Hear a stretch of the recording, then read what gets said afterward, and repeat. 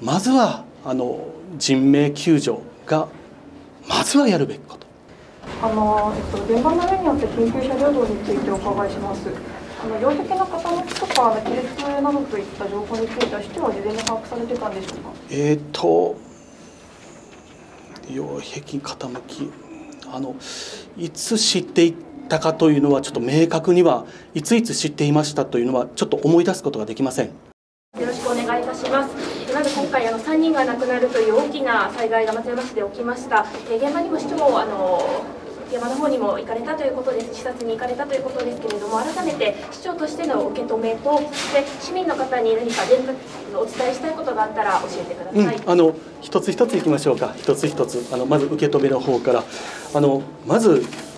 お悔やみを申し上げたいと思います。あの3人のお亡くなりになられた方、またあのご遺族の方、ご関係の方に心からお悔やみを申し上げたいと思います。でえー、またの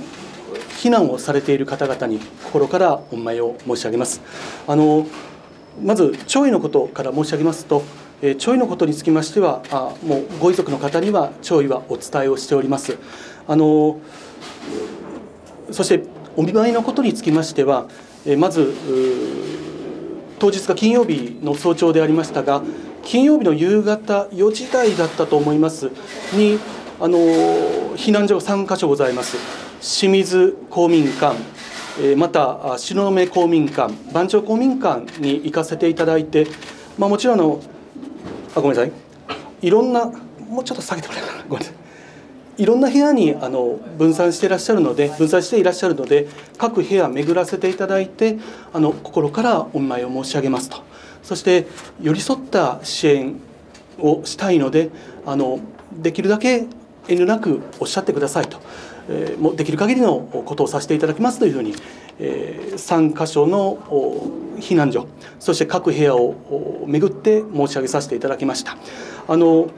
2日目からは、えー、とその1日目は私と危機管理課の男性職員。えこれは消防から出向してきておりますので専門家でありますけれどもこの2人で回らせていただいて翌日土曜日日曜日月曜日は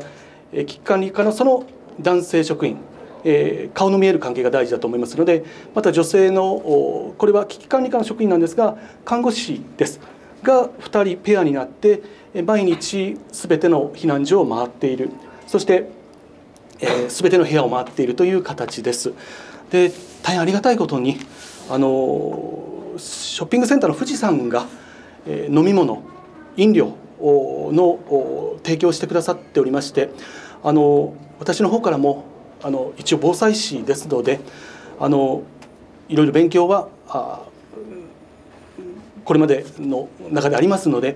あの避難者の方ってこうこちらからどうぞ言ってくださいって細かく言ってくださいと言った方が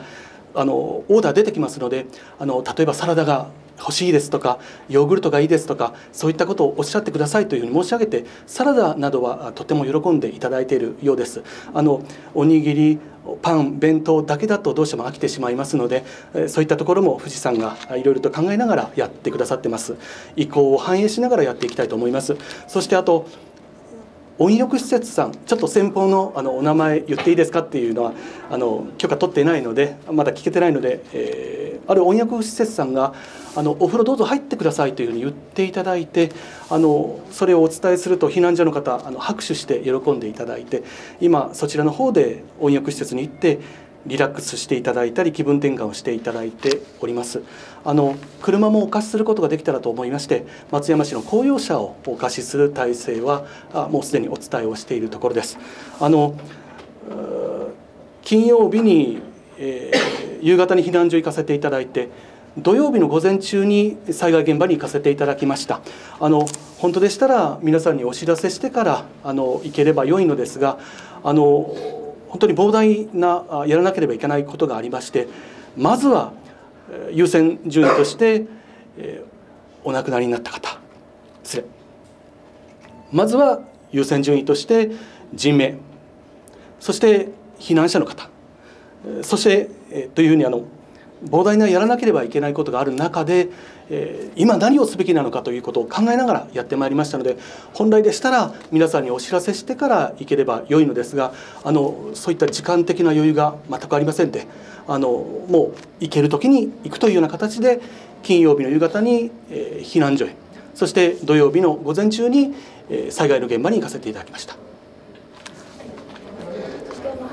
先ほどの本部会議なんですけれども、こちらではどのようなことを話し合って、指示はどんなことをされましたか、はい、あの各部の対応状況について、えー、説明を受けました、そして私の方から、まあ、指示をしたところです。あの今まず人命の救助。先ほど申し申し上げましたが人命の救助。そして被災された方の対応というようなことを、まあ、今何をすべきかということをやってまいりましたけれどもこれからのちょっと皆さんにお伝えしないといけないことが松山城の営業のことについて述べなければなりません。あの実際に土砂崩れがございまして排水設備水を排出する設備が影響を受けております。そして電気設備が影響を受けております。でこれについては排水設備電気設備については、まあ、急いで2週間程度で、まあ、修理が可能なのですが、えーと、ちょっと文言があの一つ一つ正確ではないかもしれませんが委託したあ何でしょう地質の会社に、えー、翌日13日の土曜日に現場を見てもらいました。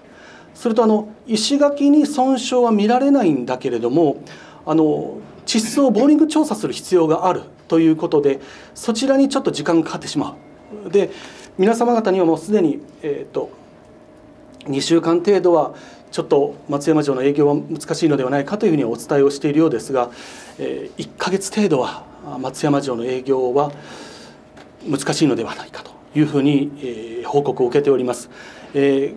これについてはあの安全に関わることでありますのでどうぞご理解をいただきたいというふうに思います。できるだけ早い営業の再開に努めていきたいというふうに思います、まあ、安全性を確保しながらということになりますが。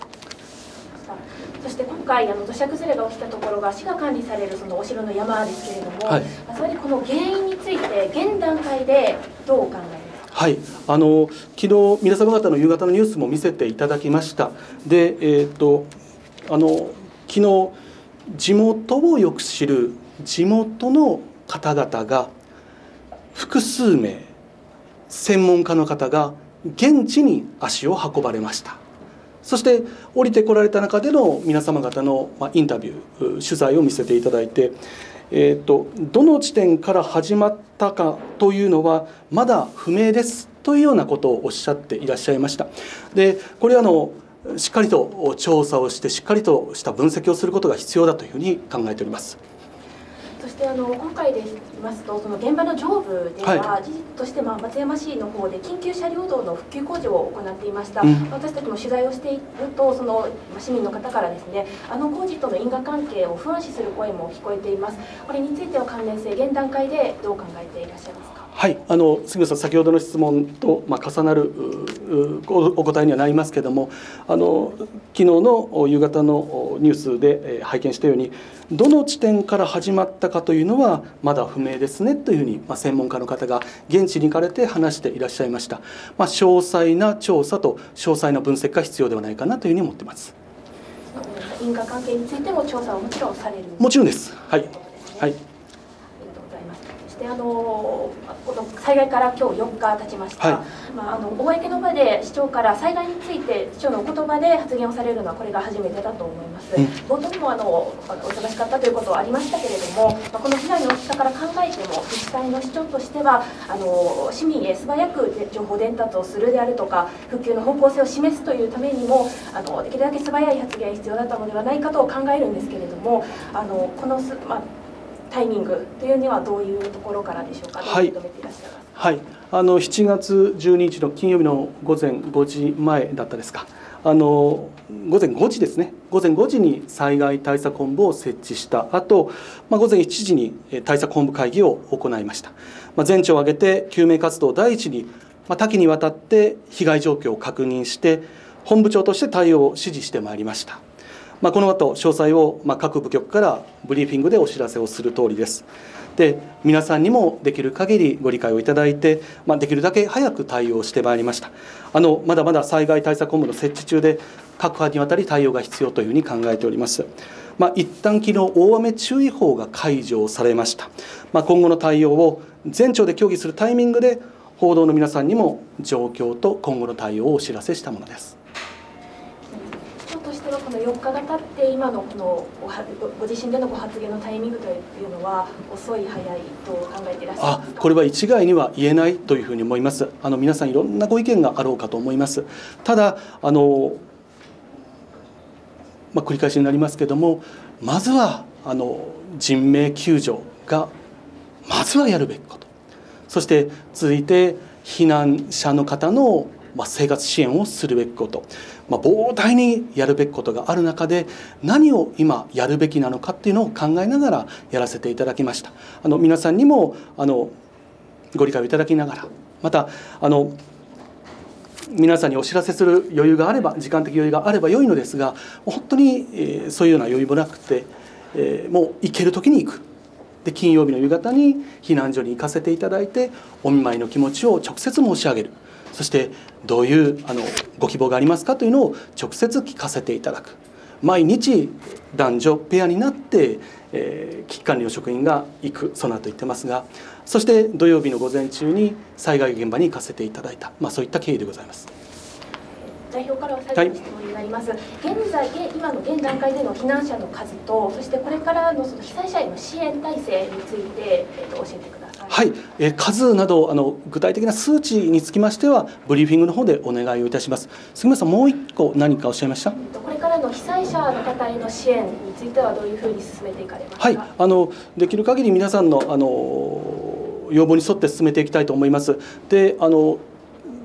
マンションの方あの水がないというようなあお話もちろん聞いております、えーと、2トンの給水車2台だったでしょうか、えーと、給水車をもう準備をしている状況でございます。水の方をそのように対応していきたいと思います。そしてあの先ほど申し上げたお城が営業できない関係であの影響を受けるところもあるのではないかなというふうに思います。あの無利子無担保の特別援護資金だったですかね、えー、そういったものもございますですのであのいろんなこう支援について考えていければというふうに思ってます。はいあの、えっと、現場の上によって緊急車両道についてお伺いします。あの擁壁の傾きとか亀裂などといった情報については市長は事前に把握されてたんでしょうか？えっ、と擁壁傾きあのいつ知っていたかというのはちょっと明確にはいついつ知っていましたというのはちょっと思い出すことができません。はい、あの私の方にはこういうような工事をしたいですというようなのはもちろん報告として来ておりました。災害前にその傾き、まあ、いつっていうのはあの詳細には分からないということなんですけど今回の災害の前からそういうことは、えっと、情報としてあったんでしょうか？えー、っとそういうひび割れがあるのでちょっと詳細にはあの一言一句再現することはちょっと難しいですがひび割れがあるので工事をしたいというようなことはもちろん把握しておりました。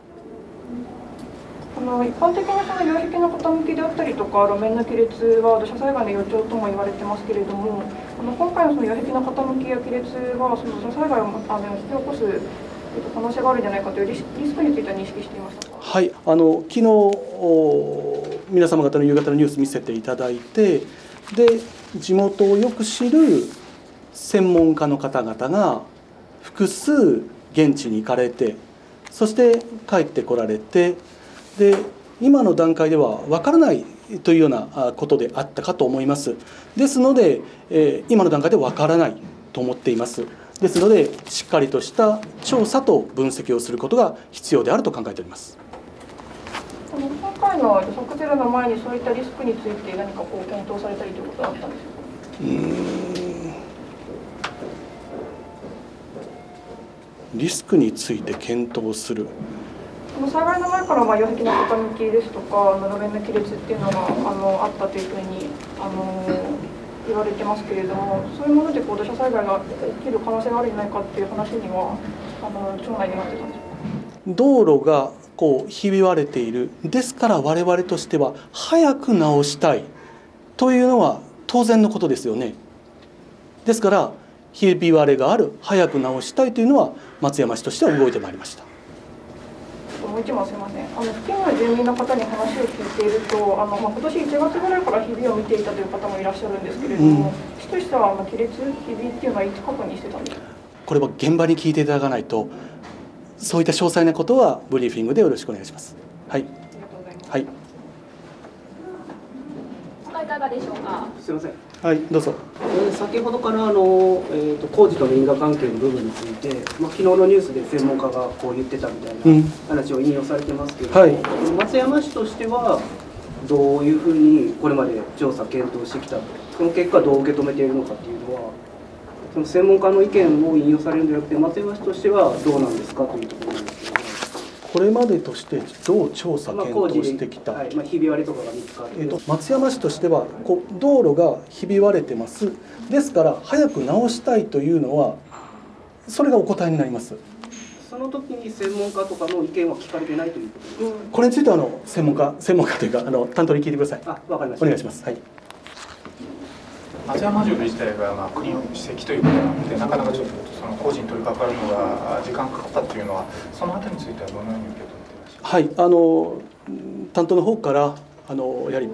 国の史跡文化財でありますのでやはり文化庁の許可が必要なんだと。それまたの指示される発掘調査が必要なんだというふうに聞いております。松山市としては繰り返し申し上げますけれども早く工事をしたいという思いはもちろんございます。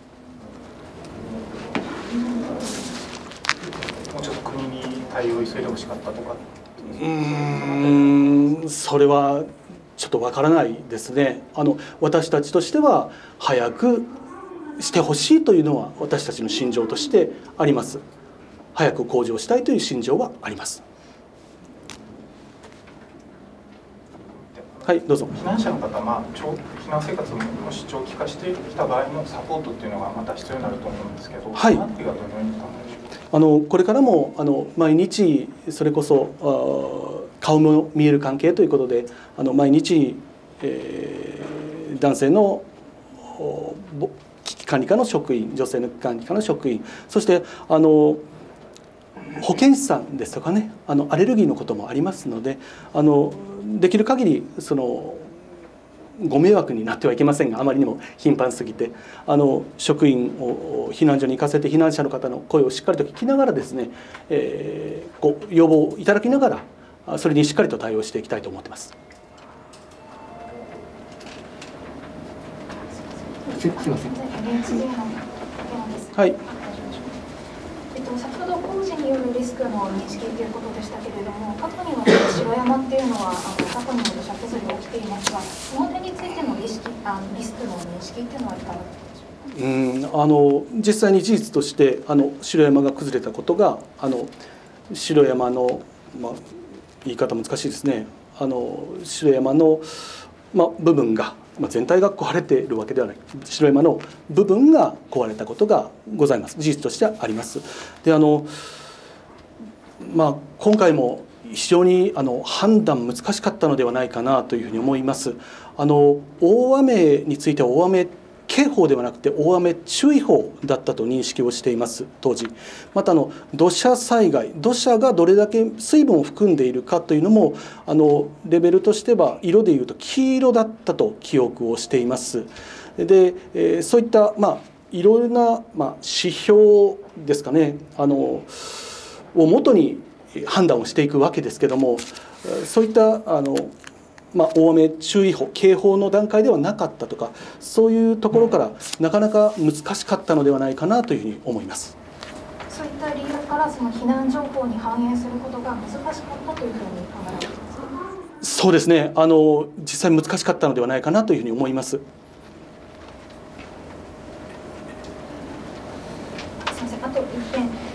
その災害で亡くなられた方の氏名公表されていませんけれどもたこういった場合のその氏名の公表をするべきかしないべきかというのは市長ご自身はどのように？はい。あのちょっとあの間違って言ってはいけないのですいません資料を。まずちょっとあの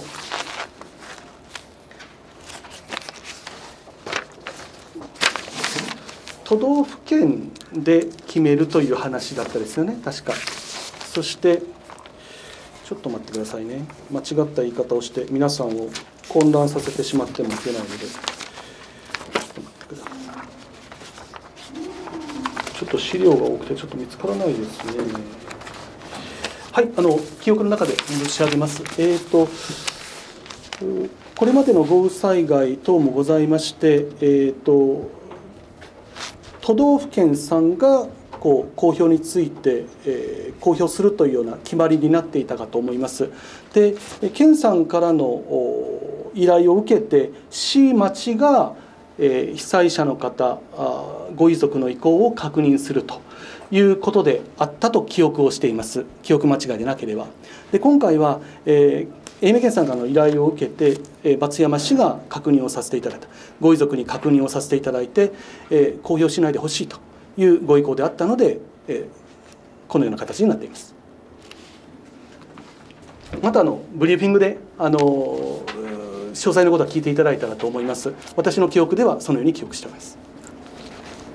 と一つ先ほど関連なんですけどあの、まあ、結果的に発災後のあの緊急安全確保の発令という形になったと思うんですけどそういう危機管理体制という市としての危機管理体制というのは今後なんか見直しとかそういうことって検討されるはいあのもちろんあの常に改善改善を重ねていくことが大事ですのであの今回のことを受けてですね改善すべきはしっかりと改善していきたいと思います。今回はもう問題なかったという認識でうんあのそれは今まさにあの懸命に今やっているところなのであのそれは検証するのはもう少し時間が経った時ではないかなと思います。今やっぱりやるべきことはあの人命の救助であったり避難者の方の支援であったり、まあ、やるべきこと膨大にある中であの今何をやるべきかってやってきましたのであのもう改善できるところから改善していくっていうことだと思います。はいすみません。どうぞ。はい。あの先ほどしたあの1か月程度はその松山城の営業が難しいと,、えことでしたけれども、これは実質調査にかかる期間が今からまあ1か月ということで、その結果によってはあのもし人の立ち入りができないという場合にあっては今後今の状態が続くということうん、あのまあまあ、1か月程度というのは目安ですね、我々としてはやはりできるだけ早く営業は再開したいと思うのですがやはりあの安全に関わる部分でございますのであの、まあ、ボーリング調査、まあ、必要ではないかなというふうにあの思っております。はい、最終的にその、まあ、営業再開を判断されるのはこれも市長がされるというそうなりますね松山市として判断をするということになります。はい先ほどあの、えーとえ工事につきましては発掘調査も松山城のが必要になるという話があったかと思いますが。今回のその松山城の休止についてのその防衛調査などについても、先行してないと発掘調査などが発生する可能性はあるんでしょうか？これはもうまさにあの国の史跡でありますので、あのまあ、重要文化財でありますので、あの文化庁さんにお話はしないといけないというふうに思います。じゃあ段取りはもう本当にその文化庁との協議が整ってからということになる。はい、でもあのもうこれはすでにあの動いてますので、はい、あのもう遅くする必要はありませんからもうあのすでに動いておりますので文化庁さんとまあ話をさせていただいて我々としてはできるだけ早くかかっていきたいと思ってます。あの先日はあの道後温泉本館が全面再開したばかりですけれど、それまたその貴重な観光資源が1か月、少なくとも1か月は使えなくなるということは、あの仕方ないことでかなり影響大きいんではないかと思います。それはどう考えますか？うんあの影響がないとはもちろん言えないと思います。ですので我々としてはあの安全に関わる部分ですので安全、まあ、確認をさせていただいてできるだけ早く営業再開することができればというふうに思います。あの安全に関わる部分ですのであのご理解ご協力いただければというふうに思います。業者に対するその支援あの、えー、融資などについては既存の制度がすでにあってそれが適用できるそうですねあの先ほど申し上げた特別援護資金だったですかね、えー、無利子無担保のというのは制度としてはございます。であの何がどういう形が一番いいのかっていうのもあの検討するようには指示をしておりますのであの影響を受ける方にま寄り添った対応をしていくことができればと考えております。あの先ほど避難の呼びあの判断が難しかったという発言もありましたけれどもあの住民の方から、えーと、その土砂崩れが最初起きた時にこう待機を呼びかけられたという話もあったんですけれどもこの今回のこの避難のこう住民への呼びかけについて不備はなかったかどうか何か待機を呼びかけられたというのが私ちょっとそこ意味がわからないんです。はい、あのこれはちょっとブリーフィングの中であの聞いていただいたらというふうに思います。